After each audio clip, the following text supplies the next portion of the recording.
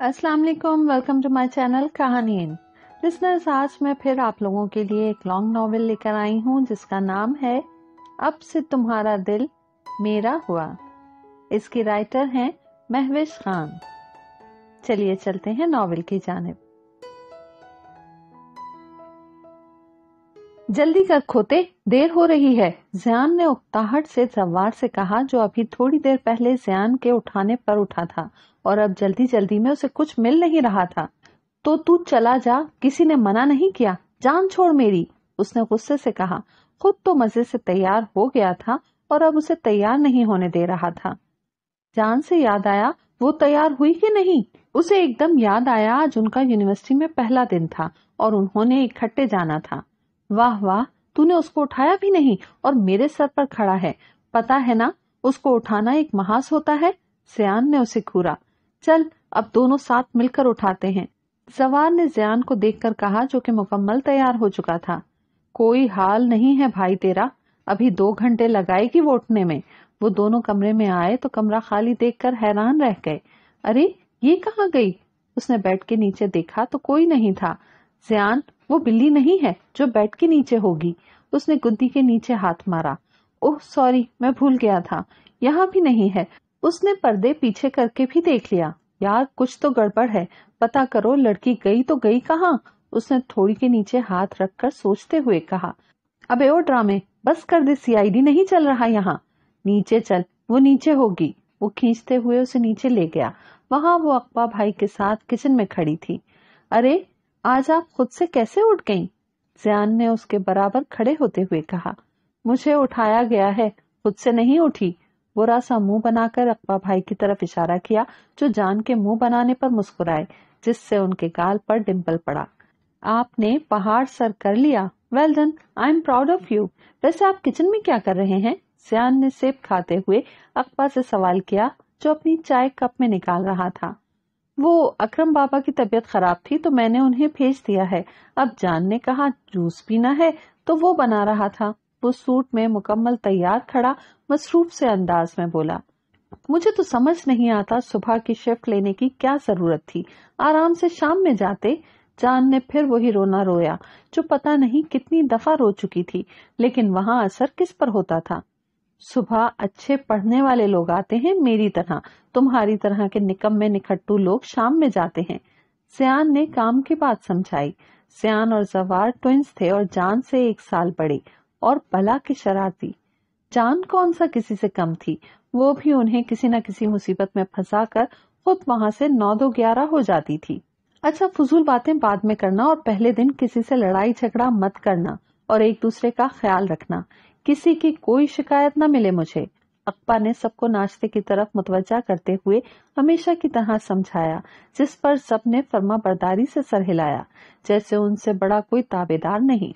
वो जल्दी से नाश्ते से फारिग हुआ, वैसे भी वो मीटिंग के लिए लेट हो रहा था। जान, मुझे टेक्स्ट करती रहना। ओके, अल्लाह हाफिज। वो हमेशा की तरह उसके सर पर प्यार करते हुए अपना लैपटॉप उठाकर चला गया।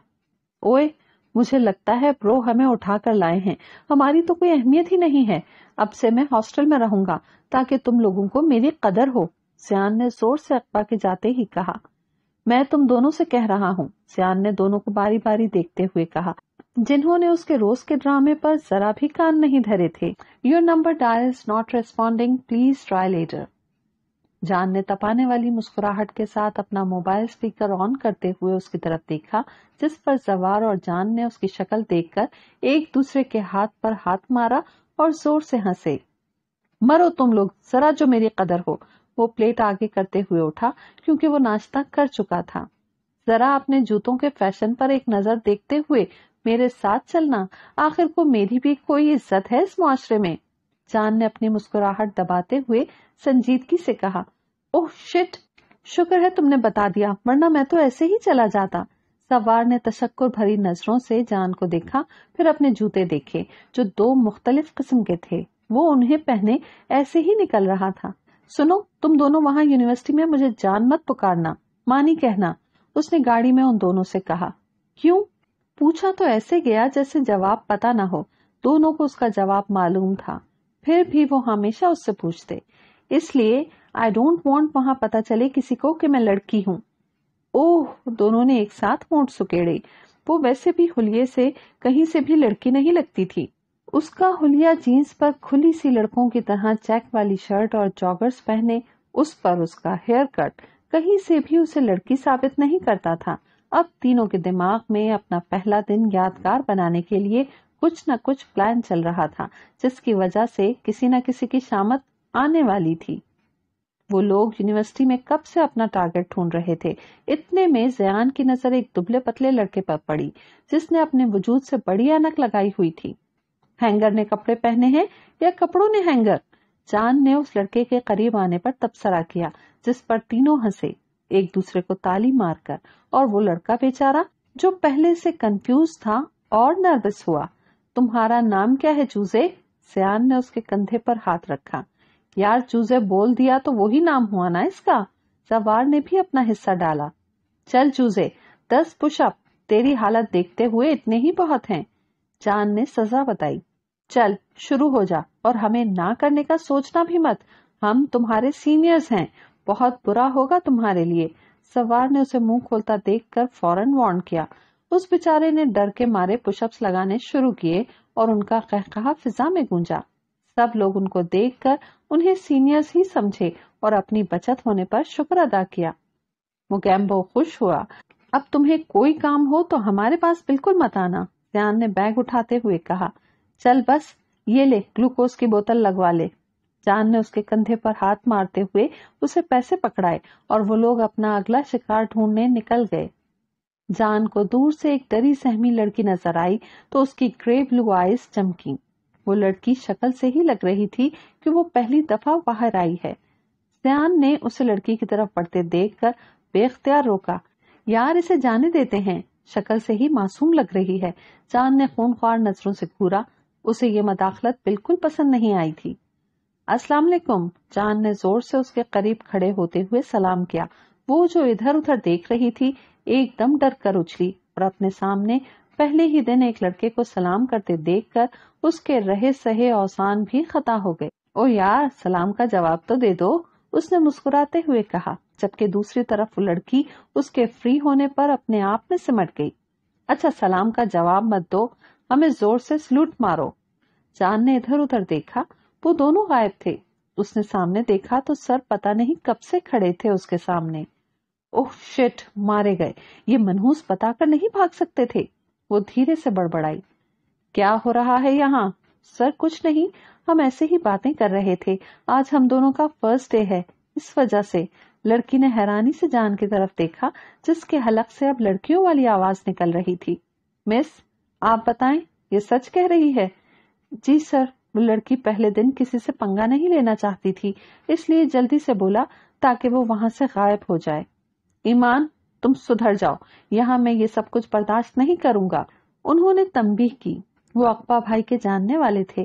फैमिली डिनर में उसकी उनसे एक आध दफ़ा मुलाकात हो चुकी थी, जिसकी वजह से वो उसके बारे में बहुत कुछ सुन चुके थे। जी सर, उसने अपने प्लान के नाकाम होने पर बुरा सा मुँह बनाया जबकि वो लड़की हैरत से कभी एक को, कभी दूसरे को देख रही थी। तुम्हारा चेहरा ही बेकार है। तुम्हारी शक्ल देखकर ही सर सामने आ गए। जान ने अपने बालों पर हाथ फेरा। आप ठीक कह रही हैं। वो लड़की कहते साथ वहाँ से चली गई। जान ने दूर तक जाते हुए हैरानी से उस अजीबो गरीब लड़की को देखा, जो बुरा कहने पर भी खामोशी से चली गई। इसीलिए ये लड़कियाँ जहर लगती हैं मुझे, सारे काम बिगाड़ देती हैं। उसने बड़बड़ाते हुए फ़ोन निकाल कर कॉल मिलाई अब उन दोनों की खबर भी तो लेनी थी, जो उसे दूर से खड़े देख रहे थे। आज तूने बड़े दिनों बाद चक्कर लगाया। अकबा ने हुजैफा के ऑफ़िस में बैठने पर शिकवा किया। तुझे पता है कितनी मसरूफियत हो गई है। ऊपर से बीवी के नखरे खत्म नहीं होते। उसने अपना दुखड़ा रोया। उसकी दो साल पहले एक अमीर बिजनेसमैन की बेटी से शादी हुई थी। अब पछताए क्या होवत जब चिड़िया चुक गई खेत। अक्फा ने हँसते हुए कहा, उड़ा ले मज़ाक। जब तुझ पर वक्त आएगा, तब पूछूँगा। अक्पा ने खाने के लिए ऑर्डर किया और उसकी तरफ़ मुतवजा हुआ। यार, अब तू शादी कर ले। तुम्हारे घर में शिद्दत से किसी औरत की ज़रूरत है। ईमान का हाल तुम्हारे सामने है। लड़कियों वाली कोई बात नहीं है उसमें। तुम शादी करके अपनी बीवी लाओगे तो वो उसे लड़कियों वाले तौर तरीके सिखाएगी। अब तो वो छोटी नहीं रही, बड़ी हो गई है। अक्पा उसकी बात पर सोच में पड़ गया। वो हमेशा जब भी आता, उसे शादी पर ज़ोर देता। मुझसे कौन शादी करेगा यार? उसने बात टालते हुए कहा, बस कर दे, तू हाँ बोल, लड़कियों की लाइंस लग जानी है। यार, लेकिन अभी बच्चे छोटे हैं, पता नहीं आने वाली उनके साथ क्या सुलूक करे। मुझे डर लगता है, मॉम डैड के बाद मैंने उन्हें पाला है। तुम नहीं समझ सकते, वो तीनों मेरे लिए क्या हैं? उसने उदास होते हुए कहा, शादी वो भी करना चाहता था, लेकिन कुछ वक्त के बाद, जब वो तीनों थोड़े मेच्योर हो जाते लेकिन कौन जाने उन्होंने मेच्योर होना भी था या नहीं? ये भी तुमने खूब कही। अब इतने भी बच्चे नहीं हैं। यूनिवर्सिटी चले गए हैं। अब तीन चार सालों में सब शादी की उम्रों को पहुँच जाएँगे। अक्पा ने कॉफ़ी उसके सामने की। यार, सोचूँगा मैं इस बारे में। उसने अपनी सेक्रेटरी को अंदर बुलाया, फाइल्स लेकर। हाँ ज़रूर सोचना। यही उम्र है ईमान की कि वो कुछ सीख लेगी। वरना बाद में पछतावे के अलावा कुछ हाथ नहीं आएगा। इतने में उसकी सेक्रेटरी ने सलाम करते हुए फाइल्स उसके सामने कर दी, जबकि हुजैफा पुरसोच नज़रों से उसकी सेक्रेटरी को देख रहा था। वो दुबली पतली सी लड़की स्याह हिजाब में सादगी में भी बहुत खूबसूरत थी। उस पर उसके बात करने का अंदाज, सामने वाले को खुद मोहतात कर दे बात करते हुए। चल, चलता हूँ, फ़ोन पर बात करूँगा। हुजैफा एकदम जाने के लिए खड़ा हुआ। ओह, रुक जा थोड़ी देर, मेरा काम बस खत्म होने ही वाला है बस। उसने फ़ाइल से सर उठाकर कहा ऊपर से ऑर्डर आ गया है, जाना पड़ेगा, वरना बंदे की खैर नहीं। उसने आँख मारते हुए कहा और वहाँ से चल दिया। ऊपर वाले ऑर्डर पर अक्पा मुस्कुराया, जिससे उसके बाएँ गाल पर डिम्पल पड़ा था। जान के दाएँ गाल पर डिम्पल पड़ता था और उसका डिम्पल ज़्यादा गहरा था अक्पा के डिम्पल के मुकाबले में। तुम बदतमीज लोग, बात मत करो मुझसे। वो दोनों इस वक्त क्लास में बैठे, जान को मनाने की कोशिश कर रहे थे। पूरा दिन कोई क्लास नहीं हुई थी। अब आखिरी क्लास में सब बैठे थे और उन तीनों को क्लास में दाखिल होते देखकर बहुत सो को अपने बेवकूफ़ बनने पर अफसोस हुआ था, जो उनको सीनियर समझ बैठे थे। जबकि वहाँ बैठी एक लड़की ने उसे देखते ही कुछ लिखना शुरू कर दिया था। सर आ गए, चुप हो जाओ, वरना यही तुम्हारा खून कर दूँगी। उनके कान पकड़ने पर जान ने उन्हें सर की जानब मुतवजा किया। सर ने सबकी अटेंडेंस लेनी शुरू की। ईमान अटेंडेंस को तो भूल ही गई थी। अब सबको पता चल जाएगा कि वो लड़की है। उसे अफसोस हुआ। लेकिन अब क्या किया जा सकता था? ईमान अली, जान ने हल्की सी आवाज़ में प्रेजेंट कहा, लेकिन उसकी आवाज़ सिर्फ़ उसी तक गई। सर ने दोबारा नाम कॉल किया। प्रेजेंट सर, अब की बार उसने हाथ खड़ा करके ऊँची आवाज़ में कहा। सबने हैरत से उसकी तरफ़ देखा। उसके बाद बहुत से लोग सरगोशी में बात करने लगे। इंटरेस्टिंग सर ने हल्के से ऊपर से नीचे देखते हुए कहा साइलेंट प्लीज़ सर अपने रजिस्टर की जानब मुतवजा हो गए। मैं आई कम सर इतने में एक लड़का गेट पर नमोदार हुआ। सबने उसकी तरफ़ देखा। आखिरी पीरियड में भी वो लेट था। सर ने पहले खड़ी और फिर उसकी तरफ़ नागवारी से देखकर उसे अंदर आने का इशारा किया। काली रंग के शलवार कमीज में उसकी गोरी रंगत नुमाया थी। Your name Riyan Akram sir ने उसके नाम पर ठिटक कर उसे दोबारा देखा। फिर उनके चेहरे पर बेख्तियार मुस्कुराहट आई, जिसे उन्होंने छुपाने की बिल्कुल कोशिश नहीं की। सन उनके लहजे से शहद टपकने पर जान ने नागवारी से उसकी तरफ़ देखा। पक्का किसी बड़े आदमी का बेटा होगा, जब ही इनकी मुस्कुराहट ही खत्म नहीं हो रही। जान ने दिल में सोचा। मैं जा रही हूँ गाड़ी लेकर, ड्राइवर को बुला लेना या अपने किसी दोस्त के साथ चले जाना। क्लास खत्म होते साथ ही जान ने गाड़ी की चाबी उठाई और बिना उनका जवाब सुने वहाँ से गायब हो गई। ओए, घर में आज कौन सा ड्राइवर बैठा है जिसका ये बोल कर गई है? सियान ने उसके जाते ही सवार से कहा, रुक, भाई को फ़ोन करता हूँ। उसने जेब में हाथ डाला तो वो खाली थी। ना वहाँ वॉलेट था, ना मोबाइल। वो समझ गया कि जान लेकर चली गई है। अब उन्हें घर जाने के लिए भीख मांगनी पड़ेगी। क्या हुआ? फ़ोन कर। सियान ने उसे आराम से खड़े देखकर टोका। हौसला रख भाई भिकारी बनने के लिए तैयार हो जा। सवार ने उसके कंधे पर हाथ रखकर उसे तसल्ली दी। क्या तेरा दिमाग खराब हो गया है? क्या बके जा रहा है? सियान को उस पर गुस्सा आया। उसने उसका हाथ झटक कर कहा, वो हम दोनों के मोबाइल और वॉलेट लेकर चली गई है। सवार ने बम फोड़ा। क्या?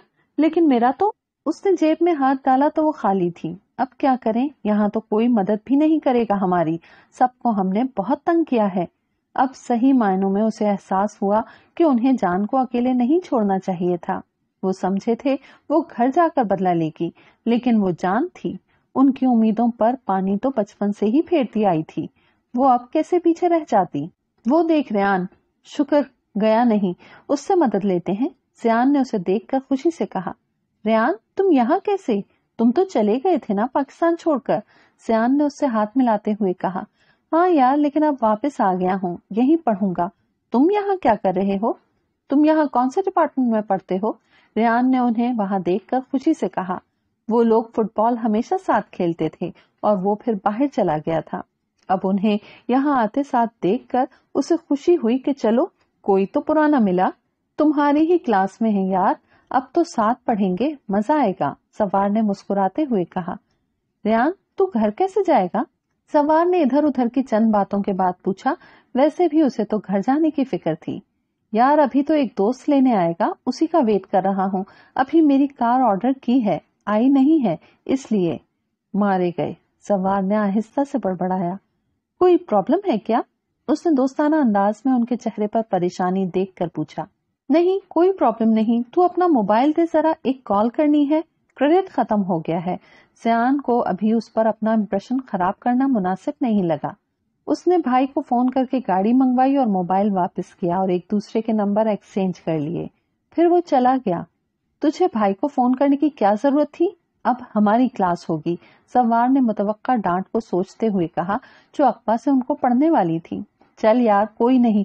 तेरी कौन सी पहली दफ़ा क्लास होगी? तू फील मत करना। अब तक तो तुझे आदत हो जानी चाहिए। सियान ने मुस्कुराहट दबाते हुए कहा हाँ सही है। उसने बिना गौर करे कहा, फिर एकदम समझ आने पर उसकी कमर पर मुक्का जड़ा। हाय, हथौड़े जैसे हाथ हैं तेरे। अल्लाह तेरी होने वाली पर रहम करे। उसने अपनी कमर सहलाते हुए कहा और वहाँ से भागा। घर पर उन दोनों के साथ साथ जान की भी क्लास हुई, क्योंकि सर ने अक्बा को कॉल करके बता दिया था जान की हरकत के बारे में। तुम तीनों को क्या कहा था मैंने कि एक दूसरे का ख्याल रखना? कोई तमीज नहीं है तुम लोगों में। और जान, कब बड़ी होगी तुम? अक्बा उनकी क्लास ले रहा था। वो वैसे ही इतना थका आया था और ऊपर से उनकी शिकायतें सुनकर उसे बहुत गुस्सा आया। लेकिन वो गुस्से में भी बहुत नरमी से बात करता था। सख्त लहजा तो जैसे उसके लिए बना ही नहीं था। सॉरी भाई, आइंदा नहीं करेंगे। तीनों ने आँखों में एक दूसरे को इशारा करते हुए एक साथ सॉरी किया। और आइंदा कभी नहीं आएगी। मालूम है मुझे, अप्पा संजीदगी से गोया हुआ। अरे नहीं भाई, हम आपकी कोई बात टाल सकते हैं भला? सियान ने मक्खन लगाया, जिसका अप्पा पर कोई असर नहीं हुआ। भाई आई लव यू जान ने अप्पा का हाथ पकड़कर मासूमियत से कहा तो वो उसकी हरकत पर मुस्कुरा दिया। आई लव यू टू जान, लेकिन ऐसी हरकतें ना किया करो। उसने अपने साथ लगाते हुए हमेशा की तरह उसे समझाया। हमारी तो कोई कदर ही नहीं है। मैं जा रहा हूँ घर छोड़कर। जयान ने जवार को कोहनी मारते हुए आहिस्ता से कहा, लेकिन उसकी आवाज़ सबने सुनी और वो वहाँ से जाने लगा। तुम किधर जा रहे हो? इतने में पीछे से अक्बा की आवाज़ आई। वो मोबाइल चार्जिंग पर लगाने, बैटरी लो है, उसके कहते साथ सब हंस पड़े और वो खुद भी हंसने लग गया। आप एलईडी बेच दें? सारा ड्रामा तो यही हमें मुफ़्त में देखने को मिल जाता है। जान ने जयान की तरफ़ इशारा किया। तो तुम कौन सा कम हो चोरनी? सबकी चीज़ें ऐसे निकालती हो कि बंदे को पता ही नहीं चलता। सियान ने हिसाब बराबर किया। बंदर को पता नहीं चलता ना? इंसानों को तो पता चल जाता है। जान ने बंदे को बंदर में तब्दील किया। चोरनी कहीं की? सियान बड़बड़ाया। अच्छा मैं चोरनी, अभी बताती हूँ तुम्हें। तो बचो, अब तुम मुझसे सारे कराटे के दाव तुम पर ट्राई करूँगी। वैसे भी इतने दिनों से प्रैक्टिस नहीं की। वो आस्ती ने ऊँची करते हुए आगे बढ़ी। ब्रो इसीलिए मैं इसको कराटे सिखाने के खिलाफ था कि ये मुझ पर ही आजमाएगी। वो अकबा के पीछे छुपा। अभी जो ये गन चलाना सीख रही हैं, इसका क्या? सवार ने उसकी मालूमात में इजाफा किया। हाय, मैं तो मर गया, बचा लो मुझे। ये बोलने से पहले तू गिर क्यों नहीं गया? तेरी जबान में छाले क्यों नहीं पड़े? इससे पहले कि जयान की जबान मजीद चलती, अकबा ने उसे कान से पकड़कर अपने सामने किया। उप्स, सॉरी, गलती से मुँह से निकल गया। जयान ने दांतों के बीच जबान रखी। हमारे तो बगैर गलती के भी मुँह से ही निकलती है। तुम्हारा सिर्फ़ गलती से निकलता है। सवार ने हँसते हुए कहा तो सबकी हँसी निकल गई, जबकि जियान ने उसे खूनख्वार नज़रों से घूरा। एक हफ़्ते बाद हुजैफा की कॉल ने अक्बा को परेशान कर दिया। वो ऑफ़िस में बैठा, उसकी बात के बारे में ही सोच रहा था जो उसने फ़ोन पर की थी। हुजैफा ने शादी के लिए उसकी सेक्रेटरी का कहा था और कहा, मिडिल क्लास घराने से लड़की लाएगा तो वो घर और रिश्ते दोनों को संभालने वाली होगी, उसे परेशान नहीं करेगी, और फिर वो उसे तीन सालों से जानता भी है। वो अच्छी लड़की है। अक्पा को उसकी बात ठीक लगी थी, लेकिन उसने हानिया के बारे में कभी ऐसा सोचा नहीं था। अगर वो अब सोच भी लेता हानिया के बारे में तो क्या पता वो कहीं इंगेज हो? ज़रूरी तो नहीं वो उसकी तरह कहीं कमिटेड ना हो, और अप्पा ने घर पर भी अपनी शादी की बात नहीं की थी। पता नहीं वो तीनों कैसे रिएक्ट करें। उसकी शादी का सुनकर? ये सब सोचते हुए उसने फैसला किया, पहले वो हानिया से पूछ ले, फिर घर में बात करेगा। हानिया को रूम में बुलाने के बाद उसे समझ नहीं आ रहा था कि वो उससे बात कैसे शुरू करे। सर, मैं जाऊँ? अगर कोई काम नहीं है तो? हानिया ने अक्बा को काफ़ी देर खामोश देखकर पूछा। हाँ नहीं, वो बैठे आपसे बात करनी है। उसने गला खंकार कर अल्फाज को अपने दिमाग में तरतीब दिया। जी, सर। हानिया ने अपने बॉस को पहली दफ़ा कंफ्यूज होते हुए हैरत से देखा। वो आप कहीं कमिटेड हैं क्या? अक्बा को बोलने के बाद एहसास हुआ कि उसे एकदम से नहीं पूछना चाहिए था। पहले थोड़ी तमहीद वगैरह बांधनी चाहिए थी, लेकिन अब कुछ नहीं हो सकता था। तीर कमान से निकल चुका था। नहीं, सर, खैरियत? हानिया ने ताज्जुब से अक्बा को देखा, जो तीन साल काम करने के बाद अब उससे कमिटेड होने का पूछ रहा था। मैं आपसे शादी करना चाहता हूँ।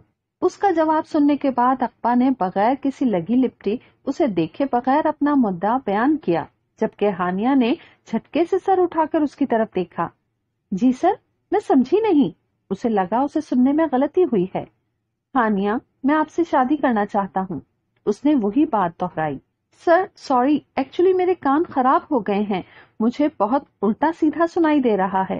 हानिया ने शर्मिंदगी से कहते हुए अपने कान पर हाथ रखते हुए उसे हिलाया।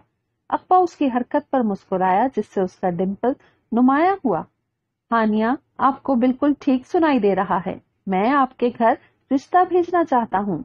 उसने नरमी से कहा और उसे देखा। हानिया के चेहरे पर हवाइयाँ उड़ी हुई थीं। और वो आँखें फाड़े, अकबा को देख रही थी जैसे उसे समझ ना आ रहा हो कि हो क्या रहा है। सॉरी, मुझे एकदम ऐसे नहीं बोलना चाहिए था। ये ले, पानी पिए। अक्बा ने ग्लास में पानी डालकर उसके सामने किया। उसे उसकी हालत पर रहम आया। हानिया ने वो ग्लास एक घूंट में खाली कर दिया। हानिया, आप अब घर जाइए। इस बारे में सुकून से सोचिए, फिर मुझे जवाब दीजिएगा। ठीक है?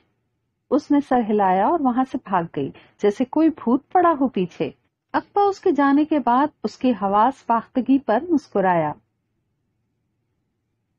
जयान जवार और जान तीनों कैंटीन पर बैठे बातें कर रहे थे। इतने में रेयान वहाँ आ गया। हेलो, क्या हो रहा है? वो कुर्सी आगे करके उनके साथ बैठकर पानी पीने लगा। जान ने उसकी बेतकल्लुफी पर उसे घूरा, लेकिन उसका ध्यान अभी तक उसकी तरफ़ नहीं गया था। कुछ नहीं बातें कर रहे हैं। इतने दिनों से कहाँ गायब हो? रेयान ने पूछा। यार, शिफ्टिंग में मसरूफ था। तुम्हें पता है कितनी ख्वारी होती है शिफ्टिंग में। इसे क्या पता? इसे कोई बार बार घर से बेदखल नहीं करता। जान ने चबाते हुए रेयान पर चोट की। उसे रेयान पहले ही दिन पसंद नहीं आया था और जो उसे पसंद न आए, वो उसका कोई लिहाज नहीं रखती थी। हा हा हा वेरी फनी तुम्हें नहीं पता इसने कितने घर चेंज किए हैं। रियान ने जान को आँख मारते हुए कहा। वो चौंक कर उसकी आँखों की तरफ़ मुतवजा हुआ, जिसकी आँखें ग्रे ब्लूश थी। उसने ऐसा आँखों का रंग इससे पहले नहीं देखा था। उसने पानी पीते हुए तारीफ़ की। यार, तेरे भाई की आँखें कितनी खूबसूरत हैं। अगर ये लड़की होता तो मैं इससे शादी कर लेता। कमीने, वो लड़की ही है सियान ने दांत पीसते हुए कहा। उसके मुँह से पानी का फुआरा छूटा। कहा से? बेख्तियार उसके मुँह से निकला।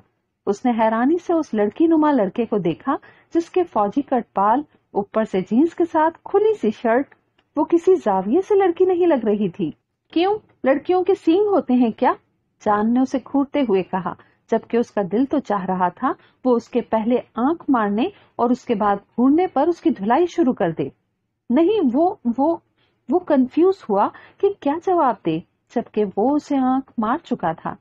मैं जा रही हूँ गाड़ी लेकर। तुम दोनों अपने दोस्त के साथ आ जाना। उसने दोस्त पर ज़ोर देते हुए कहा और रेयान को हक्का बक्का छोड़कर चली गई। यार, सॉरी, मुझे नहीं पता था कि वो लड़की है। उसने शर्मिंदगी से कहा, चल यार, जाने दे। अब उसके कफारे के तौर पर लंच करवा दे। सवार ने फट से कहा तो जयान भी उसके कफारे पर हंस दिया। हानिया, क्या हुआ है? सब खैरियत तो है? हानिया की बहन रानिया ने उसे परेशान देखकर पूछा, तुम्हें पता है क्या हुआ है मेरे साथ? मुझे लगता है मेरी नौकरी जाने वाली है। उसने अपने हाथों को मसलते हुए परेशानी से कहा। उसे अक्पा की बात समझ नहीं आ रही थी कि उसने उसे प्रपोज क्यों किया है। वो समझी कि वो मज़ाक कर रहा है या शायद उसे नौकरी से निकालने के लिए ऐसे बोल रहा है। क्या मतलब? क्या हुआ? रानिया ने परेशानी से कहा। वो सिर्फ़ तीन बहनें थीं। अब्बा भी बीमार रहते थे। उनका गुजारा अब्बा की पेंशन और किराए पर चढ़ाए मकानों से बड़ी मुश्किल से होता था। एक बहन की शादी हो चुकी थी। हानिया की नौकरी की वजह से गुजारा अच्छा हो जाता था, वरना हर महीने के आखिर में बहुत मुश्किल हो जाती थी। पता नहीं मेरे बॉस ने कहा, आप घर जाएँ और आराम से सोचें। उसने अधूरी बात की। हानि, हुआ क्या है? क्या सोचने को कहा है तुम्हारे बॉस ने? रानिया ने उसकी अधूरी बात पर चिढ़कर कहा यही कि वो मुझसे शादी करना चाहते हैं? मुझे तो बहुत डर लग रहा है। उसने अपने ठंडे हाथों को मसलते हुए परेशानी से कहा, जो साल के बारह महीने ठंडे ही रहते थे। अरे सच्ची?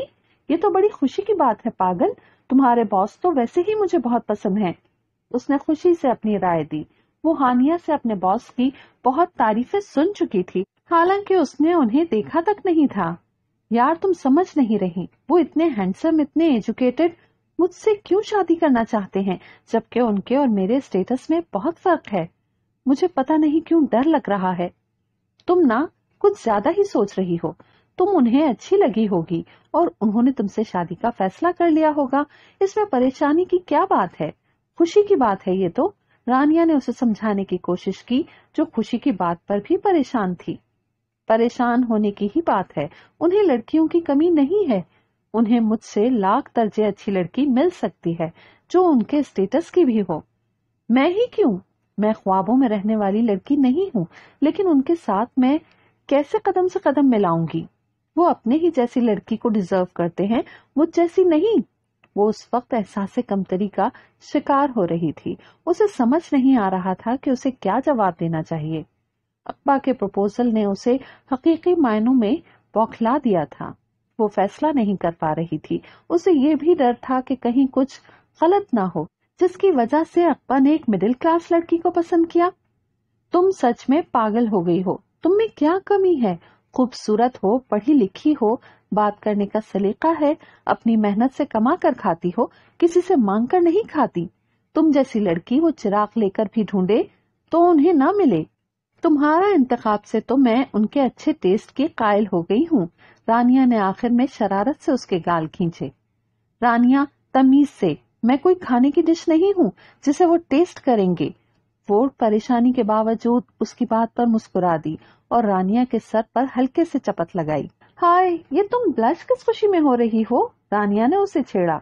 जी नहीं, मैं ब्लश नहीं हो रही। कुदरती मेरे गाल ऐसे ही हैं। हानि ने अपने गालों को हाथ लगाते हुए वजाहत दी। हाय, कौन न मर जाए ऐसे ब्लश पर? उसके बोलने पर हानि ने कुशन खींच कर मारा और बाहर चली गई। रयान ने उसके बाद ईमान से बहुत दफ़ा बात करने की कोशिश की, लेकिन जान ने उसे कोई मौका नहीं दिया कि वो उससे एक्सक्यूज कर ले तो फिर उसने भी उसे उसके हाल पर छोड़ दिया। आज सर ने सबके प्रेजेंटेशन के लिए ग्रुप बनाए थे। जब जान को मालूम हुआ तो उसे बेइंतहा गुस्सा आया, क्योंकि उसका नाम रेयान के साथ था। सर, प्लीज़, आप जयान या जवार में से किसी को मेरा पार्टनर बना दें। वो लिस्ट पढ़ने के बाद फ़ौरन सर के रूम में पहुँच गई। क्यों? रेयान से क्या मसला है आपको? सर ने अपनी ऐनक उतार कर उसे देखा। सर, मुझे नहीं, उसे मुझसे मसला है। वो हर वक्त बदतमीजी करता रहता है मेरे साथ। पीछे खड़ा रेयान उसके इल्ज़ाम सुनकर शॉक रह गया। उसे उससे कोई मसला नहीं था, और उसने बदतमीजी कब की उससे? क्यों रेयान? ये सच कह रही हैं? सर ने उसे देखते हुए उसे घूर कर सवाल किया और जान झटके से पीछे मुड़ी कि ये यहाँ कैसे आ गया? सर, मुझे इनके साथ काम करने में मसला नहीं है, और आप इन्हीं से ये पूछ लें कि मैंने इनके साथ बदतमीजी कब की, जिसका मुझे खुद इल्म नहीं, उसने तीखे से अंदाज में जान को जताते हुए कहा। इसको भी अभी आना था। बताकर नहीं आ सकता था कि मैं आ रहा हूँ। जान ने जलकर दिल में सोचा, वो उस दिन उसे आँख मारने का बदला लेना चाहती थी। अब उसे क्या पता था कि वो उसी के ही गले पड़ जाएगा। सर अब उसकी तरफ़ जवाब तलब नज़रों से देख रहे थे। उसे समझ नहीं आ रहा था कि क्या जवाब दे। सर वो एकदम उसकी नज़र शीशे के वास पर पड़ी। उसने हल्के से आगे होकर अपनी नोटबुक हाथ से ऐसे गिराई कि लगे गलती से गिरी है। और बुक वास पर गिरने की वजह से वो नीचे गिरकर टूट गया। ओह, सर, ये तो टूट गया। मैं ये समेट देती हूँ, उसने मासूम बनते हुए कहा, जैसे वाकई उससे गलती से टूट गया हो, और वो शर्मिंदा हो, जबकि सर और रेयान टूटने वाले वास को देख रहे थे। ओह, सर, हाथ में लग गया। उसने जानकर बिखरे हुए टुकड़ों को उठाते हुए छोटा सा टुकड़ा हाथ में लगाया, ताकि उनका ध्यान इस बात से हट जाए, और हुआ भी ऐसे ही था। सर ने फ़ौरन उसे कुर्सी पर बिठाया और ठंडे पानी में हाथ डलवाया और किसी को शीशे के टुकड़े साफ़ करने के लिए भी बुलवाया, जबकि रेयान को तो समझ में ही नहीं आ रहा था कि वो क्या रहा है। वो इस लड़की को समझ ही नहीं पा रहा था कि वो है क्या। सर, मैं जाऊँ? रेयान ने उकताकर खुद ही पूछ लिया। हाँ जाओ। और हाँ सुनो, तुम्हारा पेयर ईमान के साथ ही है। टाइम पर असाइनमेंट जमा करवा देना। सर की बात सुनकर जान को सर पर बहुत गुस्सा आया और रेयान पर भी। उसकी वजह से ही उसे अपना थोड़ा सा खून जाया करना पड़ा था और कोई फ़ायदा भी नहीं हुआ था। ईमान वो रूम से बाहर निकली तो रेयान ने उसे देखकर पुकारा। उसे ईमान कहने से ज़्यादा मिस कहने पर गुस्सा आया। उसका दिल किया उसके सर पर सारी बुक्स मार दे जो लाइब्रेरी में भरी हुई थी। वो बगैर मुड़े रुक गई। वो मैंने असाइनमेंट का पूछना था कि आप असाइनमेंट पर क्या काम करेंगी? रेयान ने उसकी सवालिया नज़रों पर उसे वजाहत दी। किताबी कीड़ा। जान बबलगम का रैपर खोलते हुए बड़बड़ाई। मैं कमेंट पास करूँगी। उसने इत्मीनान से चुंगम चबाते हुए कहा, जी रेयान हैरान हुआ। तुम असाइनमेंट बनाकर दिखा देना। मैं तुम्हें बता दूँगी कि सही बनी है या नहीं। क्या मतलब? आप कोई काम नहीं करेंगी, जबकि सर ने दोनों को असाइनमेंट दी है। उसने जान के तुम कहने पर भी उसे आप ही मुखातिब किया था। नहीं, मुझे इस टॉपिक में कोई इंटरेस्ट नहीं है और तुम्हारे साथ काम करने का तो सवाल ही पैदा नहीं होता। आखिरी जुमला उसने दिल में कहा तो इंटरेस्ट तो पैदा किया जा सकता है। मेरा ख्याल है आपको मेरे साथ असाइनमेंट पर काम करके खुद ही इंटरेस्ट पैदा हो जाएगा। उसने मुस्कुराते हुए उसे समझाने की कोशिश की। हाय रे खुशफहमिया, जान ने उसे अजीब सी नज़रों से ऊपर से नीचे तक देखकर कहा। मर्ज़ी आपकी, वो कंधे उचकाते हुए वहाँ से चला गया। सुनिए, उस दिन की लड़की ने उसे दोबारा पुकारा, जिसकी वजह से उसकी डांट पड़ी थी। उफ, आ गई मुसीबत। वो उस लड़की के पुकारने पर झुंझलाई। ऊपर से उसके पुकारने का अंदाज? वो मेरा नाम आयत है, मुझे आपसे एक बात करनी है। उस लड़की ने नर्वस होते हुए कहा, प्लीज़, अगर तो तुम मुझसे ये पूछने आई हो कि मैं ऐसी क्यों हूँ? ऐसे कपड़े क्यों पहनती हूँ? या ऐसे बाल क्यों रखे हैं? तो अपना और मेरा वक्त जाया ना करो। वो ऐसे ही लड़कियों के इन सवालों से आजिज आई हुई थी। जो लड़की भी आती, इस बारे में ही बात करने खड़ी हो जाती। फिर उसके बाद उसके नुकसान गिनवाना शुरू हो जाती थी। नहीं, वो मैं ये कहने आई थी कि हम पार्टनर बनकर असाइनमेंट पर काम कर लेते हैं। आप कुछ मत करना, मैं खुद ही असाइनमेंट बना लूँगी। इस मेहरबानी की वजह, उसने मशकूक नज़रों से उसकी तरफ़ देखा। वो एक्चुअली मेरा पेयर ज्यान के साथ बना है और मैं लड़कों के साथ कंफर्टेबल नहीं हूँ। इसलिए उसने हाथों की उंगलियाँ चटखाते हुए परेशानी से कहा सॉरी मैं कोई मदद नहीं कर सकती। मैं सर के पास जा चुकी हूँ और उन्होंने मुझे साफ़ मना कर दिया है पेयर चेंज करने पर जान की बात सुनकर उस लड़की के चेहरे पर मायूसी नज़र आई। वैसे तुम इतनी अनकंफर्टेबल हो तो तुम्हें को एजुकेशन में नहीं आना चाहिए था। जान ने उस पर लतीफ सा तंस किया। आप ठीक कह रही हैं। ठीक कह रही हैं? तकिया कलाम है क्या तुम्हारा? उसने मुस्कुराते हुए उस अजीबो गरीब लड़की को देखा। नहीं, वो सॉरी अगर आपको बुरा लगा। वैसे I really like your personality वो कहकर चली गई। जबकि अपने पीछे वो जान को हैरान छोड़ गई। मुझे तुम लोगों से बात करनी है। रात डिनर की टेबल पर अप्पा ने उन सबको मुखातिब किया। ब्रो, क्या बात है? आप कहीं मुझे एक गाड़ी गिफ्ट तो नहीं कर रहे? सियान ने मुस्कुराते हुए पूछा। मैं तुम लोगों से सीरियस बात करना चाहता हूँ, इसलिए बी सीरियस। अप्पा ने नैपकिन से हाथ साफ़ करते हुए उसे टोका। एक्चुअली मैं शादी कर रहा हूँ। जान ने शौक से अंदाज में अक्पा को देखा, जबकि वो दोनों बहुत खुश हुए। ओए होए, मुबारक हो। अब हमारे घर भाभी आएगी, जो ब्रो को सुनिए कहकर बुलाएगी। सियान ने पूरी एक्टिंग करते हुए कहा, और भाई बोलेंगे, जी हुजूर, फरमाइए। सवार ने मजीद इजाफा किया। जान खामोशी से खाना खाती रही, जबकि वो तीनों उसकी बात पर मुस्कुराए। जान, तुमने कुछ नहीं बोला? अक्बा ने उसकी काफ़ी देर की खामोशी पर पूछा, कब शादी है? उसने संजीदगी से ऐसे पूछा, जैसे किसी अजनबी की शादी का पूछ रही हो। सवार और जियान ने भी उसके चेहरे पर अजीब से तासुरात नोट किए। जान तुम्हें बुरा लगा कि मैं शादी कर रहा हूँ? अप्पा ने उसके हाथ पर अपना हाथ रखकर अपने खच्चे का इजहार किया। अगर बुरा लगा भी है तो उसने जानकर अधूरी बात छोड़ दी। तो मैं शादी नहीं करता। तुम सबसे बढ़कर मेरे लिए कुछ भी नहीं है। अप्पा ने फ़ौरन कहा, आपका ये कहना ही बहुत है। बस आप बदलना नहीं शादी के बाद। जान ने दूसरा हाथ अप्पा के हाथ पर रखते हुए मुस्कुराते हुए कहा, अप्पा का प्यार कभी नहीं बदलेगा। तुम मेरे जीने की वजह हो। मालूम है ना तुम्हें? अप्पा उसकी बात सुनकर जज्बाती हो गया। वो उसके बारे में ऐसा क्यों सोच रही थी कि उसके लिए कभी बदल सकता है? हाँ ये तो मुझे भी मालूम है। आप दोनों का रोमियो जूलियट कभी खत्म नहीं होना। हम तो यहाँ रेवड़ी बांटने आते हैं। हमें तो कोई लिफ्ट ही नहीं करवाता। जयान ने उन दोनों को जज्बाती होते देखकर फ़ौरन बात बदली। तुम क्यों जेलस हो रहे हो? जान ने मुस्कुराते हुए उसके पाँव पर पाँव मारा। टेबल के नीचे से। ओह, मैं क्यों जेलस हूँगा जेलस होने के लिए तो अभी आने वाली है, तब तुम्हें पता चलेगा। सियान ने पाँव सहलाते हुए उसे डराया, जबकि जान हकीकी मायनों में खौफसदा थी कि अकबा का प्यार कहीं किसी और के आने से बदल ना जाए। Excuse me miss Iman Riyan ने उसे देखते हुए पुकारा जो मोबाइल पर मैसेजिंग में मसरूफ थी। जान ने गुस्से से उसे देखा रियान ने फिर उसे मिस कहा था। इस लफ्ज से उसे चिड़ थी। मुझे आइंदा सिर्फ़ ईमान बुलाना, मिस मत कहना। अंडरस्टैंड ईमान ने चबा चबा कर कहते हुए उंगली से वार्न किया। ओके जैसे आपकी मर्ज़ी। रियान ने उसकी बदतमीजी बर्दाश्त की और हैरत से उस लड़की को देखा जो अपना नाम तमीज से पुकारे जाने पर गुस्सा हो रही थी। वो हमें असाइनमेंट पर काम करना चाहिए। सिर्फ़ तीन दिन ही बचे हैं। इसी में हमें मुकम्मल करनी है। रियान ने बैग से नोट्स निकालते हुए फिक्रमंदी से कहा, ओ हेलो तुमसे किसने कहा कि मैंने असाइनमेंट पर काम करना है? मैं पहले ही बता चुकी हूँ, मेरा इस टॉपिक में कोई इंटरेस्ट नहीं है।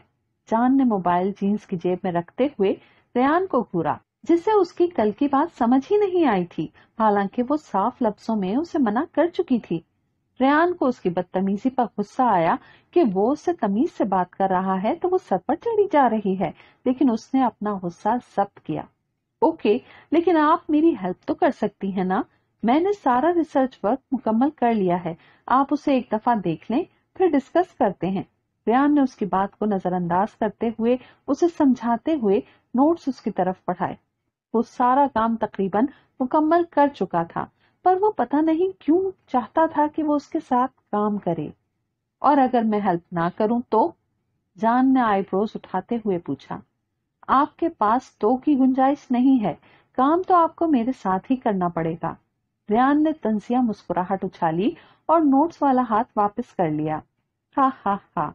हाउ फनी यू आर जान ने पहले हैरत से उसे देखा कि जो उसे मुस्कुराते हुए चैलेंज कर रहा था जान को उसकी दिमागी हालत पर शुबा हुआ, जो जान को चैलेंज कर रहा था। अच्छा क्या कर लोगे तुम? जान ने दोनों बाजू सीने पर बांधते हुए उससे सवाल किया। वैसे तो मैं बहुत कुछ कर सकता हूँ, लेकिन फ़िलहाल मैं सिर्फ़ अक्पा भाई को बताऊँगा। वो खुद ही आपसे इस मामले में बात कर लेंगे।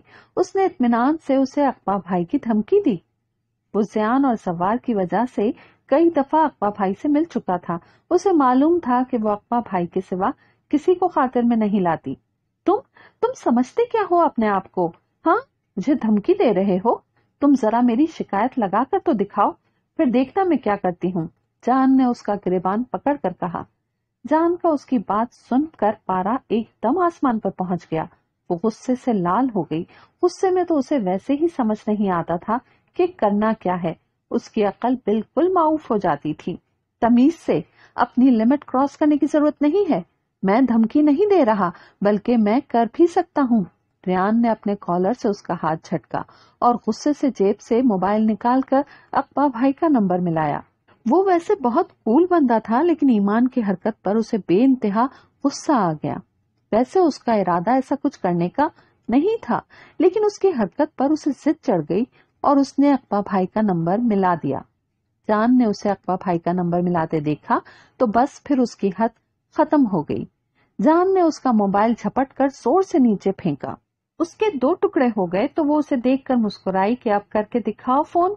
How dare you do that Rayan ने शॉक हालत में मोबाइल के टुकड़े देखे। उसे जान से इसकी उम्मीद नहीं थी। सब लोग वहाँ उनकी लड़ाई देखने के लिए जमा हो गए। मैंने तुम्हें वार्न किया था। उसने हाथ झाड़े और वहाँ से जाने लगी तो रेयान की आवाज़ ने उसके कदम रोक लिए। यू नो तुम इज़्ज़त के लायक ही नहीं हो। यू डोंट डिजर्व रिस्पेक्ट तुम लड़की के नाम पर ठप्पा हो। ऐसे बनकर तुम अपने आप को लड़का साबित करना चाहती हो। लेकिन ना तुम लड़की लगती हो, ना लड़का। शुक्र करो तुम्हारे माँ बाप नहीं है, वरना वो भी शर्मिंदा होते तुम्हारे हुलिये पर। वो आगे भी बहुत कुछ कह रहा था, लेकिन जान उससे आगे उसकी बकवास नहीं सुन सकती थी। वो वहाँ से भागती हुई चली गई। उसने जाते जाते सबको अपने ऊपर हँसते हुए देखा था। रेयान उससे आगे से बहस की तवक्का कर रहा था, लेकिन वो वहाँ से वॉकआउट ही कर गई थी। वो भी गुस्से से वहाँ से चला गया। उसे शदीद गुस्सा था कि उस लड़की ने कैसे उसके गिरेबान में हाथ डाला और ऊपर से सॉरी कहने के बजाय टिटाई से उसका मोबाइल भी तोड़ दिया। उसे इतना गुस्सा था कि अगर वो लड़की ना होती तो थप्पड़ों से उसका चेहरा लाल कर देता। उसने गुस्से में पता नहीं क्या कुछ कहा, उसे खुद मालूम नहीं था कि वो क्या बोल रहा है। अक्बा को हानिया के घर से मस्बत जवाब मिला तो वो खुश हुआ। ये खुशखबरी सबसे पहले जान से शेयर करना चाहता था वो। अक्बा ने नंबर मिलाया, बेल के बावजूद उसने नहीं उठाया। फिर थोड़ी देर बाद उसका सेल बंद हो गया। अक्बा को परेशानी हुई। उसका मोबाइल कभी ऑफ़ नहीं होता था। उसने जियान को कॉल की तो वो और जवार अपने दोस्तों के साथ कहीं निकले हुए थे। वो यूनिवर्सिटी से फ़र्स्ट पीरियड के बाद ही चले गए थे। उन्होंने ईमान को भी ऑफ़र की, लेकिन उसका मूड नहीं था। इसलिए वो दोनों खुद ही चले गए। हद होती है लापरवाही की। कितनी दफ़ा कहा है कि उसके साथ रहा करो। अब पता करो जल्दी, वो कहाँ है? अक्पा ने परेशानी में झाड़ पिलाई। भाई, क्या हो गया है? बैटरी डेड हो गई होगी, तभी सेल ऑफ़ हो गया होगा। यूनिवर्सिटी तो ऑफ़ हो गई है। आप घर फ़ोन करें, वो घर ही होगी। हम भी घर ही जा रहे हैं। सियान ने तसल्ली करवाई, जबकि वो खुद परेशान हो गया था। सब जानते थे, बाहर जाने से पहले हमेशा वो बैटरी फुल रखती थी, क्योंकि अकबा भाई की हिदायत थी कि किसी का मोबाइल उन्हें ऑफ़ ना मिले। इसी वजह से पावर बैंक भी उसके साथ होता था। अगर ऐसा कुछ हो जाए तो वो फ़ौरन मोबाइल ऑन कर लेती थी। मुझे बहुत फ़िक्र हो रही है। तुम जल्दी घर पहुंचो। मैं भी आ रहा हूँ। अक्पा ने फ़ोन बंद किया और घर के लिए निकल गया। उसका दिल घबरा रहा था। पता नहीं क्यों वो बस इस वक्त जान को जल्द अज जल्द अपने सामने सही सलामत देखना चाहता था। अक्बा घर पहुँचा तो वो दोनों पहले से ही घर में थे। जान जान, उसने घर आते साथ पुकारा।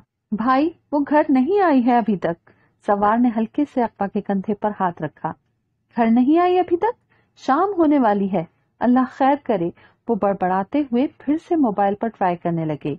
लेकिन मुसलसल उसका मोबाइल ऑफ़ था और वक्त गुजरने के साथ साथ उसकी परेशानी बढ़ती जा रही थी। तुम्हारा कब ऑफ़ हुआ था आज? दो बजे के बाद आज कोई क्लास नहीं थी? सवार ने बताया तो वो और परेशान हो गया। दिल पता नहीं क्यों किसी अनहोनी का एहसास दिला रहा था। भाई, वो ठीक होगी ना? जियान ने परेशानी से कहा, वो उसे जितना तंग कर ले, लेकिन वो उससे प्यार भी उतना ही करता था। अक्पा ने जियान की आँखों में नमी तैरती हुई देखी तो उसे तसल्ली दी। इनशाला वो बिल्कुल ठीक होगी। अक्पा ने उन दोनों से ज़्यादा खुद को तसल्ली दी, क्योंकि जान कभी भी घर से इतनी देर बाहर नहीं रही थी। वो भी बिना बताए, भाई, पुलिस को इन्फॉर्म कर दें? मुझे बहुत डर लग रहा है। सवार ने मगरिब की अजान की आवाज़ सुनकर खौफ से कहा, कुछ नहीं होता जान को। तुम तो बहादुर हो ना यार। अल्लाह पर भरोसा रखो। कुछ नहीं होगा। अकबा ने अपने साथ लगाया। उस वक्त सब हद से ज़्यादा फिक्रमंद थे। किसी ने पानी का एक घूंट भी हलक से नहीं उतारा था। वैसे पुलिस को इन्फॉर्म करने का कोई फ़ायदा नहीं। वो 24 घंटों से पहले कोई एक्शन नहीं लेगी। मैं उसे ढूँढने जा रहा हूँ। तुम घर पर रहो। अगर आ जाए तो मुझे फ़ौरन इन्फॉर्म करना। वो चाबी लेकर घर से बाहर जाने लगा। इतने में गाड़ी की आवाज़ आई जो यकीनन जान की गाड़ी थी। वो बहुत तेज़ी से ड्राइविंग करते हुए इधर उधर सड़कों पर घूमती रही। उसके जहन में रेयान के अल्फाज घूम रहे थे। तुम इज़्ज़त के लायक नहीं हो। तुम लड़की के नाम पर धब्बा हो। उसने बहुत कोशिश की। वो अल्फाज उसके दिमाग से निकल जाएँ, वो उसे सुनाई ना दें। लेकिन वो अल्फाज बार बार उसके कानों में सुनाई दे रहे थे। दो तीन दफ़ा उसका एक्सीडेंट होते हुए बचा। फिर वो साहिल समंदर पर चली गई। शायद उसे वहाँ सुकून मिल जाए। जो आग उस वक्त उसके दिलो दिमाग में लगी हुई थी, वो ठंडी हो जाए। वो मैकेनिकी अंदाज में चलते हुए समंदर की लहरों के करीब चली गई। उसे लगा, आसपास के लोग उसे देखकर उस पर हंस रहे हैं। उसके कानों से वो अल्फाज दूर ही नहीं हो रहे थे। उसने बारहा अपने कान बंद किए कि उसे वो अल्फाज सुनाई ना दें, लेकिन वो वैसे ही गूंज रहे थे। वो वहीं गीली रेत पर घुटनों के बल बैठ गई। मैं रेस्पेक्ट डिजर्व करती हूँ वो सामने सूरज को देखते हुए चिल्लाई, जैसे सामने रेयान हो, और वो उसे बता रही हो, मैं लड़की के नाम पर धब्बा नहीं हूँ। वो और ज़ोर से चिल्लाई। वो अपने इर्द गिर्द घूमती हुई उन आवाजों को बताना चाहती थी कि वो गलत हैं। इर्द गिर्द के लोगों ने हैरत से उसे देखा, जिसकी आँखों से आँसू बह रहे थे, और वो ज़मीन पर बैठी ऐसे चीख रही थी जैसे वो किसी से मुखातिब हो। मेरे माँ बाप वो तो अक्बा भाई हैं। उसके जहन में माँ बाप के लफ्ज से फ़ौरन अक्बा आया। वही उसके लिए सब कुछ थे। उसकी माँ, उसके बाप, उसके भाई। अक्पा भाई मुझ पर शर्मिंदा नहीं है। मैं धब्बा नहीं हूँ। मैं इज़्ज़त के लायक हूँ। वो ज़ोर ज़ोर से रोते हुए बोलती जा रही थी और शिद्दत से रोती जा रही थी। वहाँ से गुजरते हुए लोग उसे पागल समझ रहे थे, जो खुद से बातें कर रही थी। क्या पता वो तुम पर शर्मिंदा हो? कहीं से आवाज़ आई, जान ने इधर उधर देखा, कोई नहीं था। शायद वो उसका अपना खदशा था। नहीं, वो मुझ पर शर्मिंदा क्यों होंगे? वो मोहब्बत करते हैं मुझसे। उसने जैसे खुद ही इनकार किया। कोई ज़ोर से हंसा उस पर। तुम कितनी बेवकूफ़ हो? वो तुमसे तो नहीं कहेंगे ना? नहीं, ऐसा नहीं है। तुम गलत बोल रहे हो। वो मुझसे प्यार करते हैं। उसने शिद्दत से नफी की। हाय रे खुशफहमिया, कोई उस पर हंसा था? कहा लगाते हुए। तुम झूठ बोल रहे हो। ऐसा कुछ नहीं है। वो ज़ोर से चीखी। तो वो अक्स गायब हो गया। उस अक्स के गायब होते साथ वो होश में आई। उसने इर्द गिर्द देखा तो रात होने वाली थी। उसके सारे कपड़े गीली रेत से भरे थे और उसे होश ही नहीं था। हालाँकि आम हालात में उसे गंदगी से सख्त थी। उसने आँसू साफ़ किए, उसे अपने आप पर हैरत हुई कि उसने उसकी बातों को इतना सीरियस कैसे ले लिया, जबकि ऐसी बातें तो वो फुल इग्नोर करती थी। शायद आज तक किसी ने उसे ऐसा कहने की ज़रूरत नहीं की थी। उसके पीठ पीछे जो मर्ज़ी बोलते हो, सामने आज तक कोई नहीं बोला था। वो घर के लिए गाड़ी लेकर निकल गई। अगर ईमान ने रियान का जरा सा माली नुकसान किया था, उसे तकलीफ़ दी थी तो रियान ने भी उसे जज्बाती नुकसान पहुँचाया था। जान पहले सिर्फ़ उससे चिड़ती थी, लेकिन अब रियान के अपने बारे में ख्याल जानकर उसे रियान से नफरत होने लगी थी।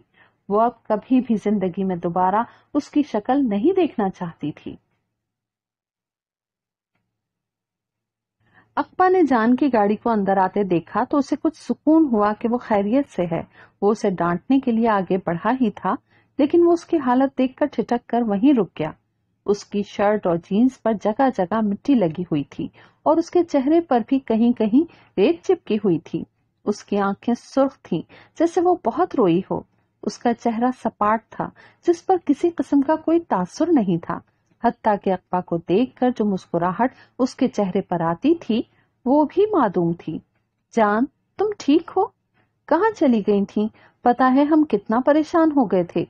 सियान और जवार ने उसके करीब आते हुए उसे खुद से लिपटाया। उन्हें उसे देखकर वाकई लगा जैसे उनकी जान वापस आ गई हो। थोड़ी देर पहले सबकी जान निकली हुई थी। इस खौफ से अगर उसे कुछ हो गया तो? उसके आगे तो किसी ने कुछ सोचा ही नहीं था। जान आहिस्ता से उनसे अलग हुई और अप्पा के सामने खड़ी हो गई। अप्पा ने उसके चेहरे पर कशमकश देखी, जैसे वो सोच रही हो कि बात करे या नहीं, जबकि जयान और जवार को उसकी संजीदगी पर हैरत हो रही थी। बोलो, जान, क्या बात करनी है? अप्पा ने उसका हाथ पकड़कर उसकी मुश्किल आसान की। वो कैसे ना उसके बारे में जानता? उसके हाथों में ही तो वो बड़ी हुई थी। उसकी एक एक हरकत को वो अच्छी तरह जानता था। भाई आप मुझ पर शर्मिंदा तो नहीं है ना कि मैं लड़की होकर लड़कों जैसी हूँ?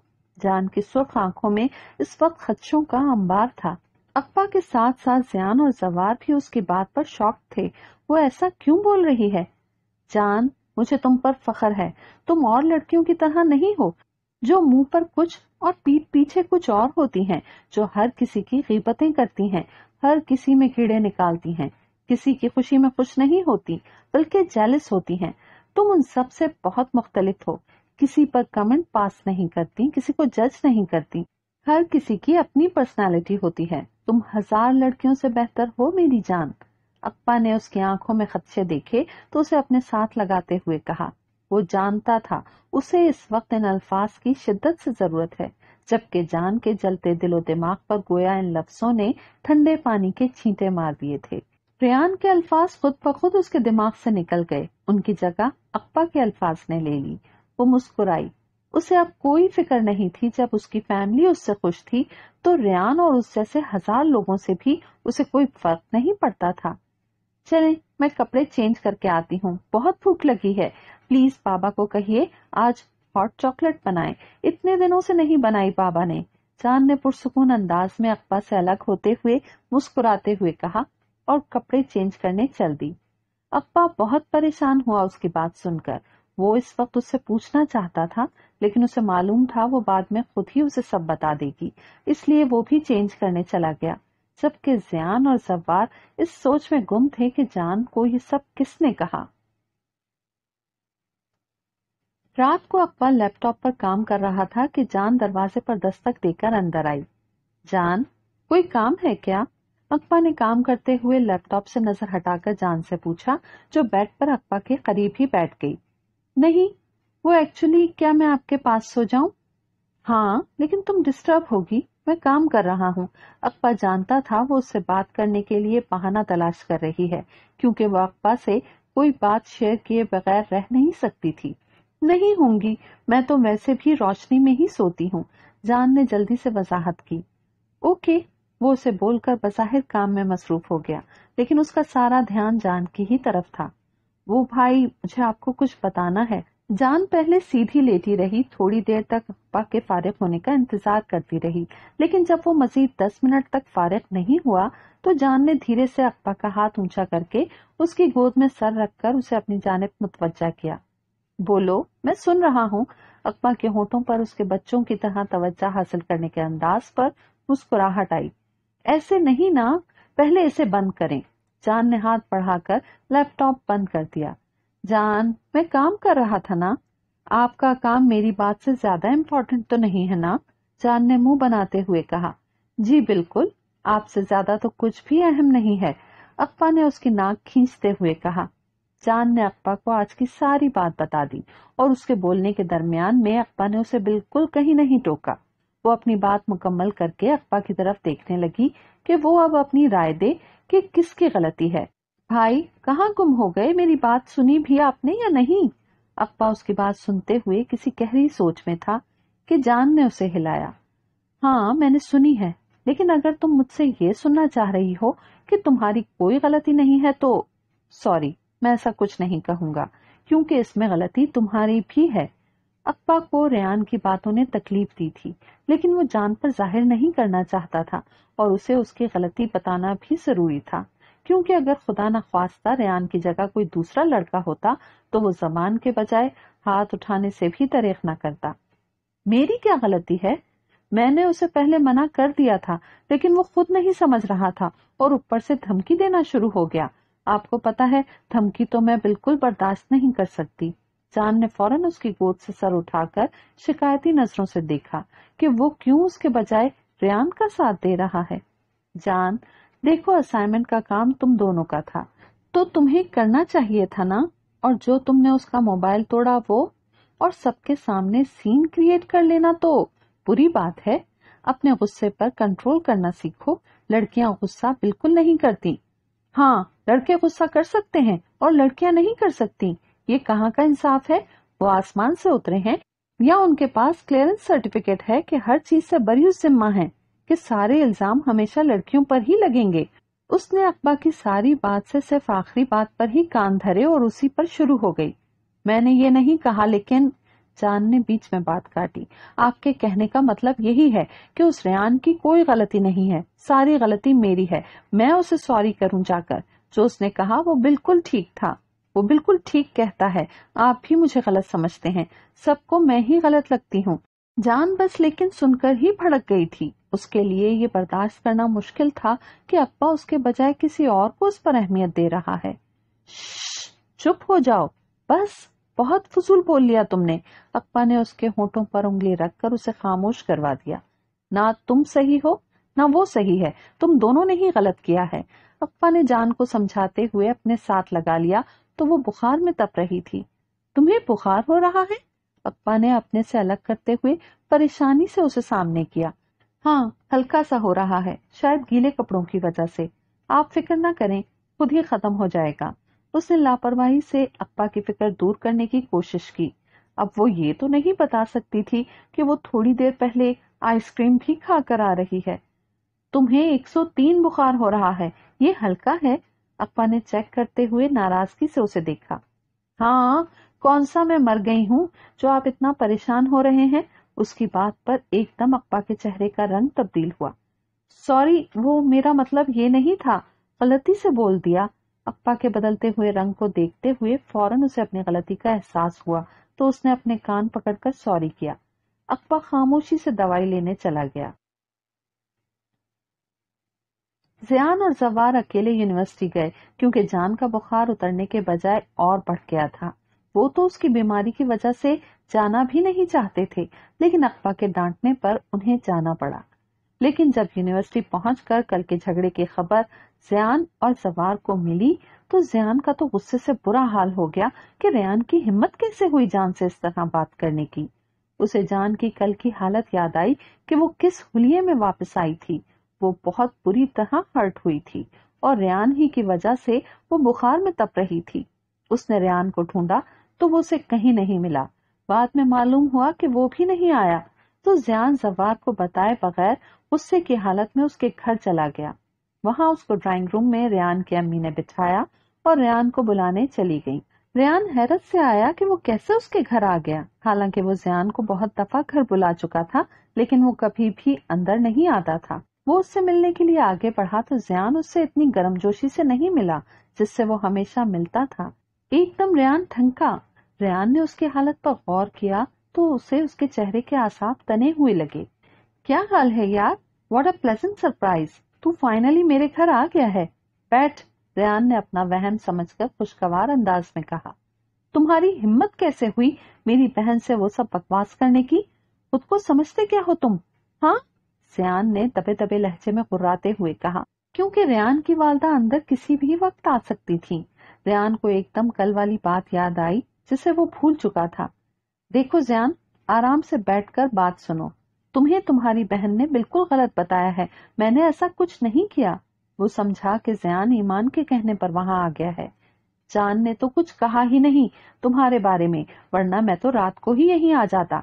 तुमसे मुझे बिल्कुल ये उम्मीद नहीं थी। सियान ने जबड़े भींचते हुए अपने गुस्से को कंट्रोल करने की कोशिश की। तुम्हारी वजह से वो रात जिस हालत में घर पहुँची, वो सोचकर ही मेरे रोंगटे खड़े हो जाते हैं और अभी तक वो बुखार में तुम्हारी वजह से तप रही है। सिर्फ़ और सिर्फ़ तुम्हारी वजह से कल का दिन हमने सूली पर काटा। अगर उसे कुछ हो जाता तो मैं तुम्हें ज़िंदा नहीं छोड़ता। वो जैसे उस पर इंकशाफात कर रहा था। उसने वो सब सिर्फ़ गुस्से में कहा था। उसका हर किस मकसद ईमान को हर्ट करना नहीं था। वो ईमान की हालत सुनकर शॉक रह गया। वो उसकी बातों को इतना सीरियस लेगी। ये बात तो उसके वहमो गुमान में भी नहीं थी, पर न वो गुस्से में भी अपने आप पर कंट्रोल करता। हमें लड़कियों की इज़्ज़त पर लेक्चर देने वाला शख्स खुद सबसे पहले अपने गिरेबान में झांके। उसके कौलो फेल में कितना तजाद है। जयान ने उस पर तंज किया और वहाँ से चलता बना, जबकि जयान की बात ने उसका सर शर्मिंदगी से झुका दिया। अनजाने में ही सही, लेकिन उसने किसी का दिल दुखाया था। उसे बेख्तियार गुस्से से भरी ग्रे ब्लू आँखें याद आईं। जब से उसने उन आँखों को देखा था, वो उन्हें भूल नहीं सका था। नॉवल अभी जारी है। बहुत जल्द मिलते हैं नॉवल के नेक्स्ट एपिसोड के साथ। तब तक अपना ख्याल रखिएगा, दुआओं में याद रखिएगा। अल्लाह हाफिज।